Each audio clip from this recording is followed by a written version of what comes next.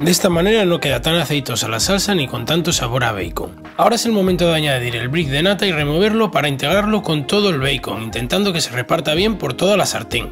Lo probamos y añadimos sal, pimienta y un poquito de orégano y lo dejamos unos 3 minutos a fuego bajo removiendo para que no se nos pegue la nata abajo. Mientras se termina de hacer la salsa carbonara ponemos los espaguetis a cocinar durante 10 minutos aproximadamente. Una vez que ya están cocidos los sacamos y los dejamos rápidamente en la olla sin que se acaben de escurrir del todo ya que el agua lo usaremos también para la salsa. Esto hará que los espaguetis se hidraten y una vez que los añadamos se impregnen mejor de la salsa carbonara. Y ya casi estamos terminando, añadimos los espaguetis a la sartén y los removemos muy poco a poco para que vayan impregnándose de nuestra salsa carbonara y también para que quede repartido el bacon. Y ahora un truco de la mano de mi madre, batimos un huevo y se lo añadimos a la sartén con los espaguetis, esto dará cremosidad a la carbonara. Y este es el resultado final de nuestros espagueti carbonara, esperamos que os haya gustado.